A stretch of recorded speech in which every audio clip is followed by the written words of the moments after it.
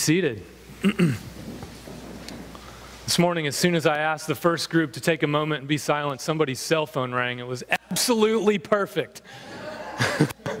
like, God's on the phone, someone get it. We are going to talk about wilderness this morning. That's really the theme of this message. It's a big part of what we're doing in Advent. Um, the word Advent comes from the Latin word adventus, which means coming or arrival. It's the season between now and Christmas, between the 1st of December until Christmas Eve, where in the midst of a really busy place, where all kinds of things are being demanded of you, and all sorts of things are inserting themselves into your day planner, the church is saying, the Holy Spirit is saying, slow down. Slow down. And carve out some space to hear that whisper from God.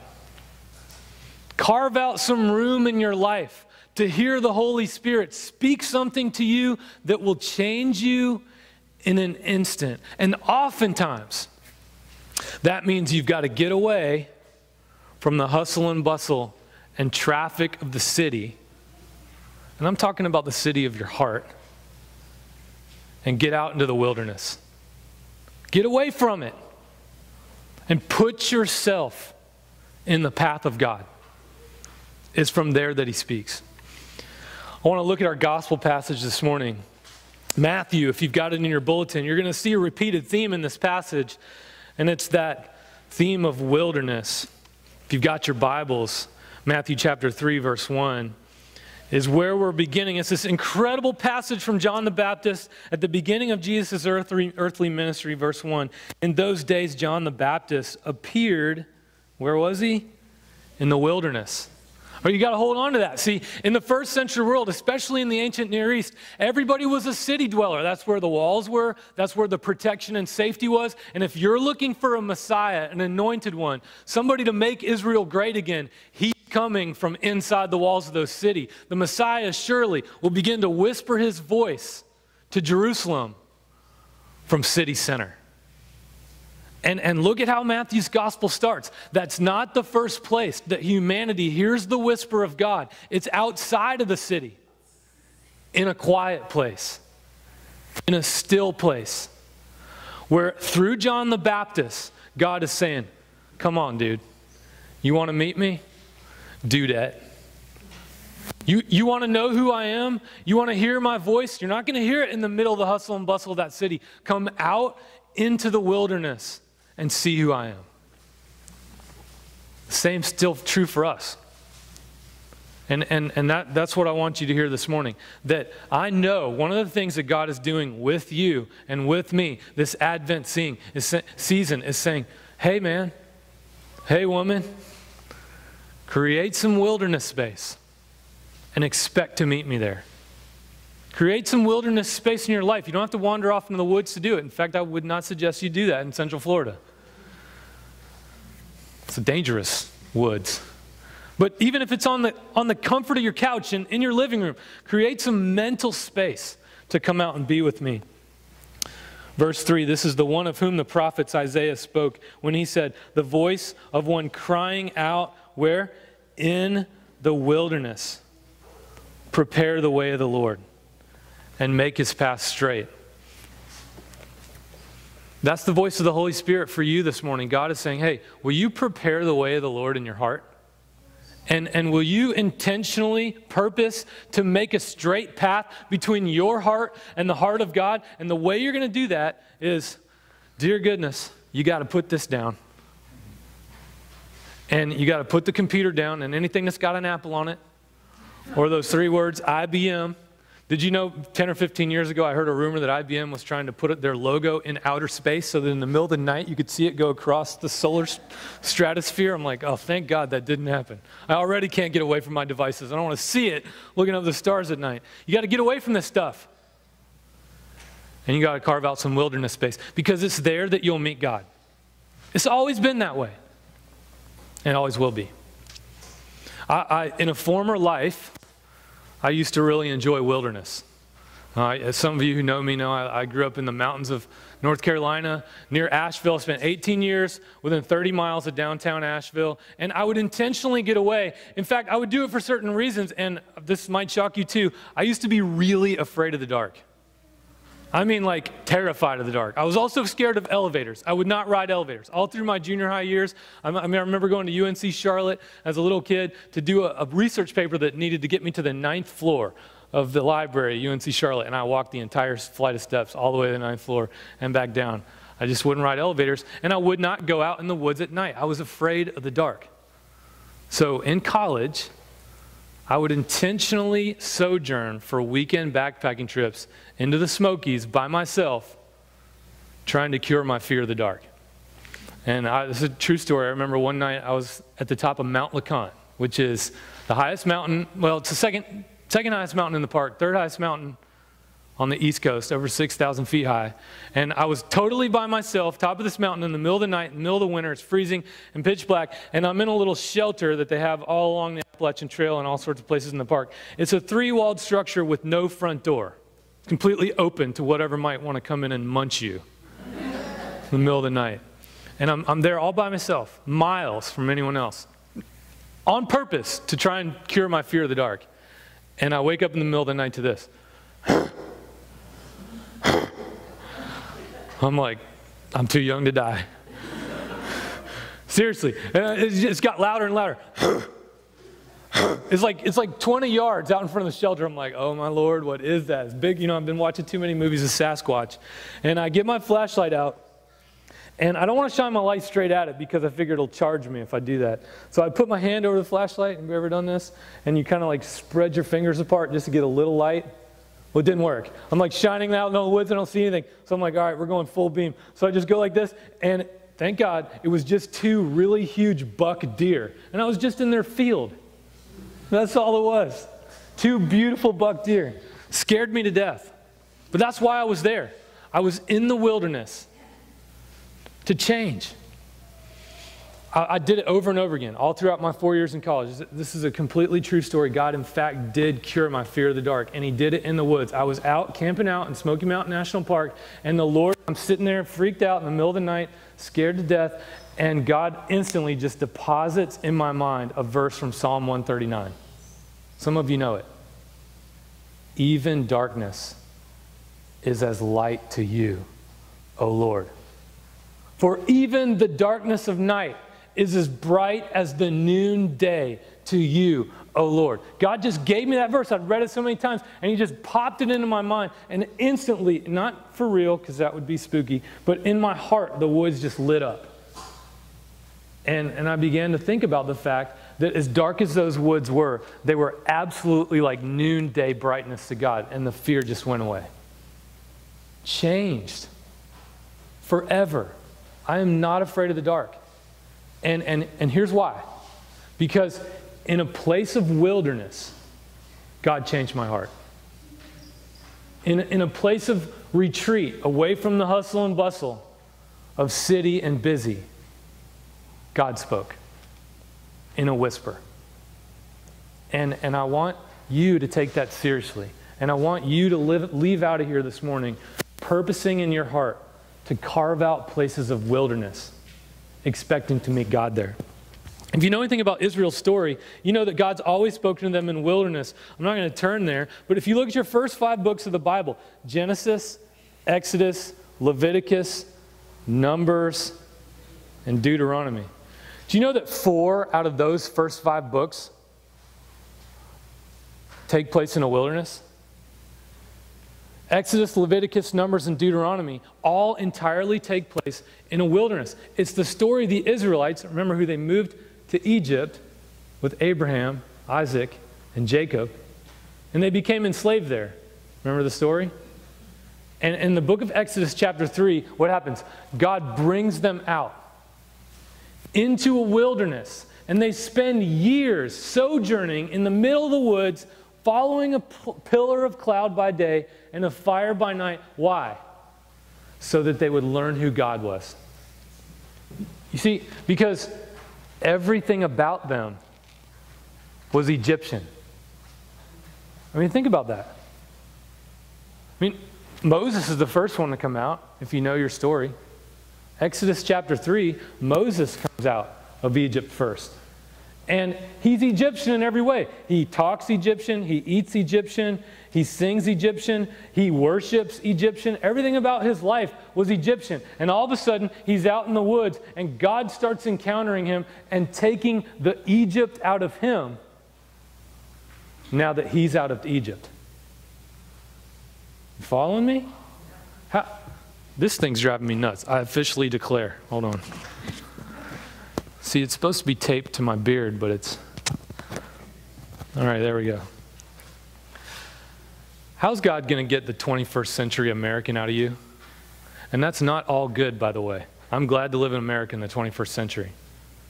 But there are some parts of this culture that are not good. And there are some parts of our day and rhythm and life and schedule and agenda and priorities that are not good. And how's God going to call that out of you if you don't separate yourself from it enough to hear his whisper and his opportunity of otherness and differentness of life. And that happens as you intentionally create wilderness spaces. That only happens that way. And the Israelites, they, they come out of Egypt and they know nothing about what that God is that's burning up their cattle when they get too close to it at Mount Sinai mean, if you've read the story, Exodus chapter 3 through 18, the entire nation of Israel, they come out of Egypt and they're wandering around following this pillar of fire by cloud that's speaking to them from rumbling thunder. And every time their cattle and animals get too close to it, they get fried. And they don't know who that God is. Their gods were Egyptian gods. You should know that because they built one, a golden calf, in Exodus chapter 40. They weren't even creative about it. Chapter 34. Everything they knew was Egyptian. And all of a sudden they're in the middle of the woods. Why? Because God had to bring them to that place so that they get away from that stuff long enough to be reformed in every way. And that's what God wants to do with you.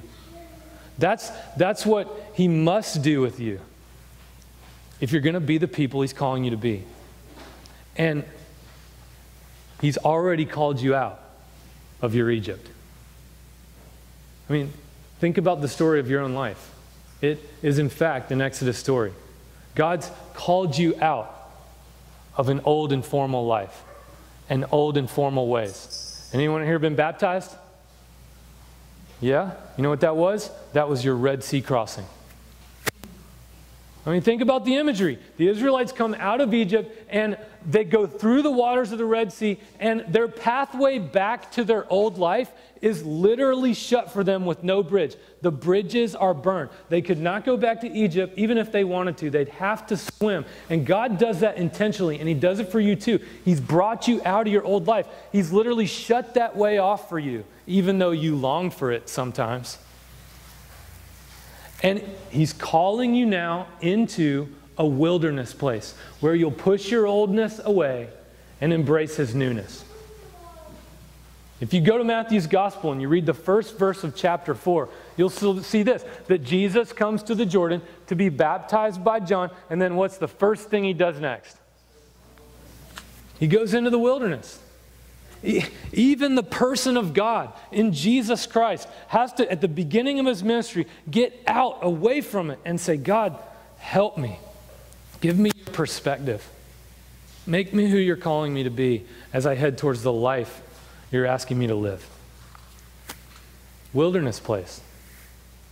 That's really all I want to say to you this morning. I want to advocate this Advent that you create some wilderness. And, and I promise you, you will meet God there. I mean, if you've seen any of our publications, anything that this church has, there are three words that you're usually going to see know, experience, and share. And, and one of the things I want you to know is I want you to know God. I want you to know who He is up here. But there's a big difference between head knowledge and heart knowledge. And I don't just want you to know facts about God, I want you to experience those facts in every area of your life. I want you to experience the joy of His presence daily. And how is that going to happen if you don't create some space to hear Him whisper to you? Um, Sunday's not enough. I mean, I know I'm pretty awesome, and this is pretty awesome. Yeah. Don't laugh, Bob. But Sunday's not enough. I mean, this is great what we're doing here. We're coming together as a body of Christ to give God the worship that He's due. You know what? This isn't about you. This is actually a gift to God, what you're doing this morning. Did you know that? That you're here this morning to give God something that He can't have any other way? It's not just about coming to receive something from Him, it's you're literally taking your place in the throngs of saints of old who've come and given a gift to God that he couldn't receive any other way than the gathered of his people who declare his name. That's awesome. But that's not the essence of your Christianity. It, that, that's, just a, that's just a part of this relationship that God wants to cultivate in your life seven days a week. And it happens as you push the busyness aside and give yourself some wilderness moments. I want to make one more point. Sometimes God takes us to a wilderness a different way, not in a joy, but as a discipline. Has anyone ever experienced that? Mean, has anyone ever experienced this, this moment that we're going to see in Isaiah's passage here in just a second, where God takes this homeland that He's given you, and for the Israelites, it's the promised land, and through your own rejection of Him and pushing Him aside week after week, day after day, month after month, your own beautiful promised land turns into a wilderness, a desolate place. Anyone know what I'm talking about? Anyone have some burned out ruins of their own rejection of God?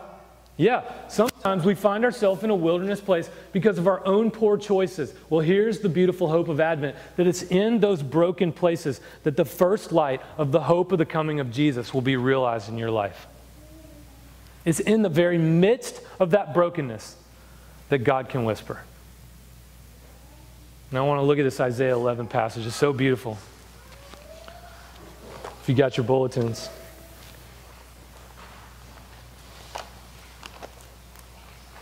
Isaiah goes like this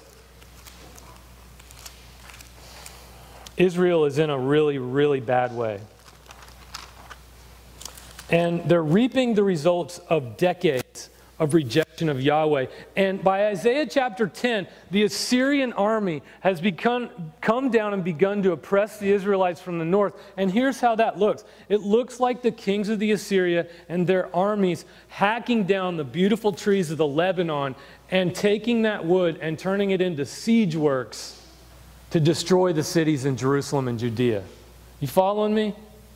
So, the picture in Isaiah chapter 10 that leads up to our reading in chapter 11 are all the beautiful forests of Lebanon being hacked down so that those trees that God gave Israel as a gift might be used against them as a weapon of war. It's a total depraved picture of the beautiful promised land that God gave Israel turning into a wilderness of desolation because their own rejection of God.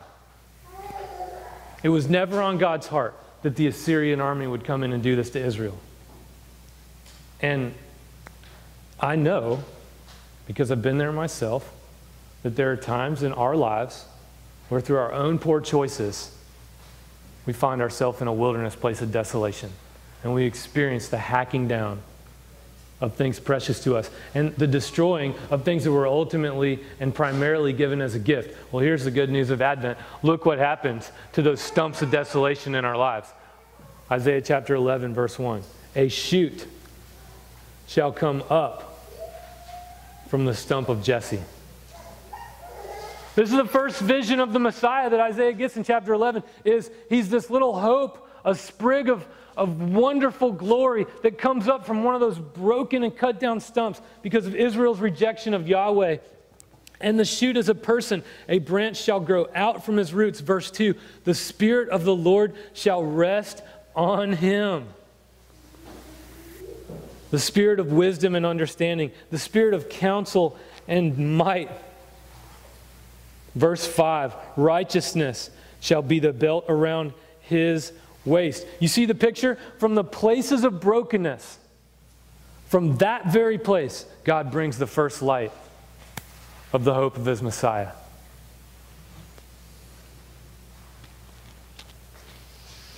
And look at the result, verse 6 the wolf shall lie down with the lamb. The leopard shall lie down with the kid, the calf and the lion and the fatling together, and a little child shall lead them. This is the last thing I want to say to you, and I'm going to get out of your way. That I know there are some of you in here who've experienced a little bit of desolation because of your own rejection of God. Well, here's the good news you do not have a God who is angry at you, who rejects you because of your rejection of Him. You have a God who pursues you with his faithful love towards unfaithful people and says, If you will listen to my whisper and turn and repent, I'll bring new life out of the stumps of your brokenness. And that will happen through the person of Jesus. If you'll turn your heart to the risen Savior, God, in fact, heals you right starting with the, your very most broken places. That's the first place you see the glorious light of his dawn. That's the hope of Advent. So I would just encourage you this Advent to make some space for Jesus. Would you? Would you carve out a wilderness space in your life and in your heart? Would you just purpose? I mean, I, I learned years ago to do this thing. Um, my friend Brett Ray taught me to do it. It's called a take five, where I literally just take five minutes of silence and stillness and just listen. Will you consider some practice like that this Advent? Just put away the cell phone, turn down the noise, turn off the silence. Be still and know that I'm God. Please stand.